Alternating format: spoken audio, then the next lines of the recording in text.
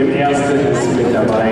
Friederike Rode, TSV Bayern München Leverkusen, die deutsche. 120 U23-Meisterin ihrer